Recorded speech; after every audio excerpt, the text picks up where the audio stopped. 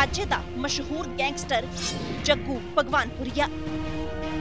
ਜਿਸ ਦਾ ਨਾਮ ਜੁਰਮ ਦੀ ਦੁਨੀਆ 'ਚ ਟੌਪ ਤੇ ਬੋਲਦਾ ਹੈ। ਪਰ ਅੱਜ ਉਹ ਭਗਵਾਨਪੁਰੀਆ ਇਕੱਲਾ ਪੈ ਗਿਆ ਕਿਉਂਕਿ ਜਿਸ ਲੜਕੀ ਦੇ ਨਾਲ ਪਿਆਰ ਪੈਣ ਤੇ ਉਸਨੇ ਲਾਵਾਂ ਲਈਆਂ ਸਨ ਉਸ ਦਾ ਕਤਲ ਕਰ ਦਿੱਤਾ ਗਿਆ ਹੈ। ਜੀ ਹਾਂ, ਭਗਵਾਨਪੁਰੀਆ ਦੀ ਪਤਨੀ ਹਰਮਨਪ੍ਰੀਤ ਕੌਰ ਦਾ ਬੁੱਧਵਾਰ ਰਾਤ ਭੇਦ ਭਰੇ ਹਾਲਾਤਾਂ ਦੇ ਵਿੱਚ ਕਤਲ ਕਰ ਦਿੱਤਾ ਗਿਆ ਤੇ ਦੱਸਿਆ ਜਾ ਰਿਹਾ ਹੈ ਕਿ ਬਟਾਲਾ ਦੇ ਪਿੰਡ ਭਗਵਾਨਪੁਰ ਚ ਸਹੁਰਾ ਪਰਿਵਾਰ ਨੇ ਜੱਗੂ ਦੀ ਹਮਸਫਰ ਦਾ ਅੰਤਿਮ ਸੰਸਕਾਰ ਵੀ ਕਾਫੀ ਜਲਦੀ ਚ ਕਰ ਦਿੱਤਾ। ਤੇ ਇਸ ਦੇ ਬਾਅਦ ਭਗਵਾਨਪੁਰੀਆ ਦੀ ਮਾਂ ਆਪਣੇ ਕੁਝ ਰਿਸ਼ਤੇਦਾਰਾਂ ਦੇ ਨਾਲ ਅਸਥੀਆਂ ਵੀ ਜਲ ਪ੍ਰਵਾਹ ਕਰਨ ਜਾ ਰਹੀ ਸੀ। ਜਦੋਂ ਪੁਲਿਸ ਨੂੰ ਗੁਪਤ ਸੂਚਨਾ ਮਿਲੀ ਤਾਂ ਉਹਨਾਂ ਅਸਥੀਆਂ ਕਬਜ਼ੇ 'ਚ ਲੈ ਜਾਂਚ ਲਈ ਭੇਜ ਦਿੱਤੀਆਂ ਨੇ। ਉਧਰ ਪਿੰਡ ਵਾਲੇ ਦੱਸਦੇ ਨੇ ਕਿ ਹਰਮਨ ਤੇ ਉਸਦੀ ਸੱਸ, ਯਾਨੀ ਭਗਵਾਨਪੁਰੀਆ ਦੀ ਮਾਂ ਵਿਚਾਲੇ ਅਣਬਣ ਰਹਿੰਦੀ ਸੀ। ਜਿਸ ਕਾਰਨ ਅਕਸਰ ਹਰਮਨ ਆਪਣੇ ਕਿਸੇ ਰਿਸ਼ਤੇਦਾਰ ਦੇ ਕੋਲ ਵੀ ਜਾ ਕੇ ਰਹਿੰਦੀ ਸੀ, ਜਦਕਿ ਜੱਗੂ ਤੇ ਹਰਮਨ ਦੀ 7 ਸਾਲ ਦੀ ਬੇਟੀ ਹਿਮਾਚਲ ਦੇ ਕਿਸੇ ਸਕੂਲ 'ਚ ਪੜ੍ਹਦੀ ਹੈ। ਜ਼ਿਕਰ ਹੋ ਗਿਆ ਕਿ ਭਗਵਾਨਪੁਰੀਆ ਤੇ 25 ਤੋਂ ਵੱਧ ਮੁਕੱਦਮੇ ਦਰਜ ਨੇ, ਜਿਸ ਕਾਰਨ ਉਹ ਲੰਮੇ ਸਮੇਂ ਤੋਂ ਜੇਲ੍ਹ 'ਚ ਹੈ।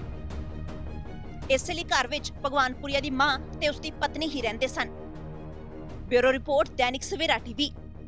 ਜੇਕਰ ਤੁਹਾਡੇ ਆਸ-ਪਾਸ ਹੋ ਰਹੀ ਹੈ ਚੋਣ ਜਾਬਤੇ ਦੀ ਉਲੰਘਣਾ ਜਾਂ ਫਿਰ ਵਾਪਰ ਰਹੀ ਹੈ ਕੋਈ ਵੱਡੀ ਘਟਨਾ ਤਾਂ ਚੱਕੋ ਮੋਬਾਈਲ ਤੇ ਦੈਨਿਕ ਸਵੇਰਾ ਦੇ ਇਸ ਮੋਬਾਈਲ ਨੰਬਰ ਤੇ ਦਿਓ ਪੂਰੀ ਜਾਣਕਾਰੀ। ਦੈਨਿਕ ਸਵੇਰਾ ਬਣੇਗਾ ਤੁਹਾਡੀ ਆਵਾਜ਼ ਤੇ ਨਸ਼ਰ ਕਰੇਗਾ ਤੁਹਾਡੀ ਹਰ ਸਮੱਸਿਆ।